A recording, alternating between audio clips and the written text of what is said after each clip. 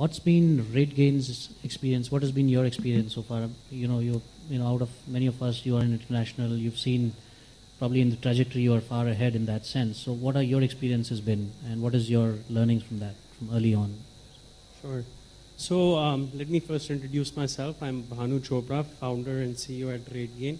So RateGain is targeted largely to the hospitality and travel industry. We provide cloud-based solutions in the areas of competitive intelligence, and largely our solutions aid the revenue management function, sales and distribution function of hoteliers.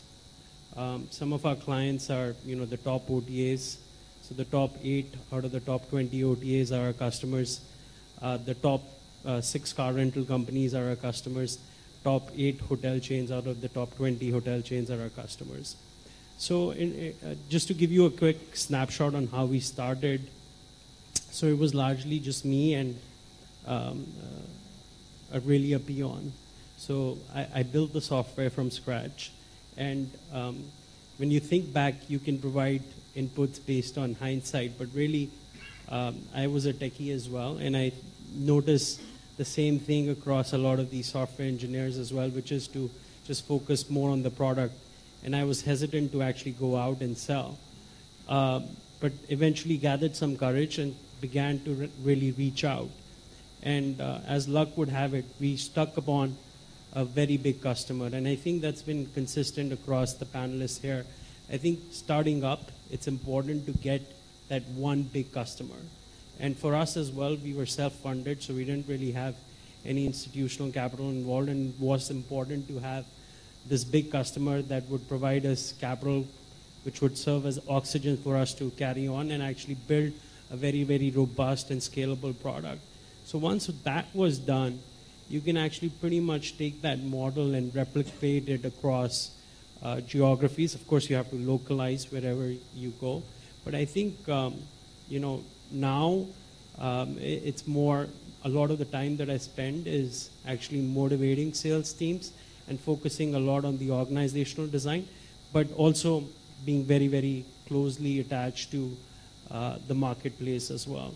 So I think um, uh, once you get to a scale, uh, for us, two years ago, we were doing about uh, two or three deals a month. Now we do wherever you go. But I think, um, you know, now um, it, it's more, a lot of the time that I spend is actually motivating sales teams and focusing a lot on the organizational design, but also being very, very closely attached to the marketplace as well.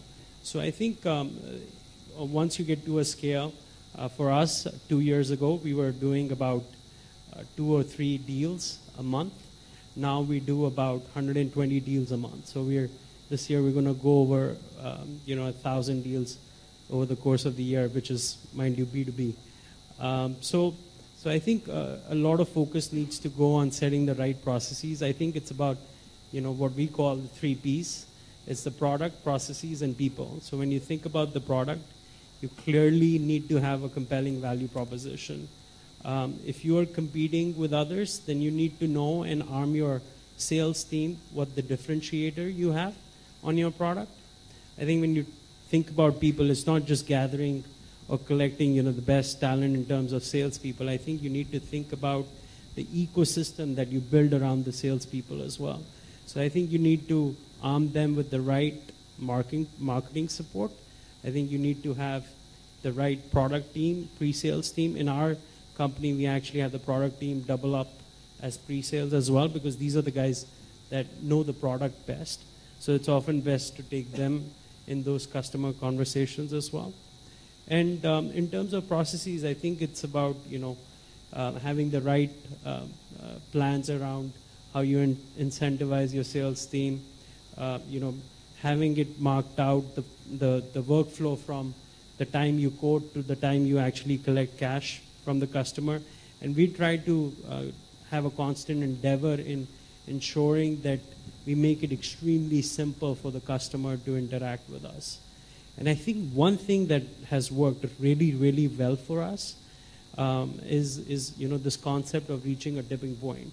So after you have acquired some customers, you know, the, uh, prospects start coming to you. And so it's important to get these customers, retain them, and wow them, because you know they might not give you customer referrals, but in the industry they talk to each other, and if you have wowed them, you know the business would come to you. Thank you. So I'm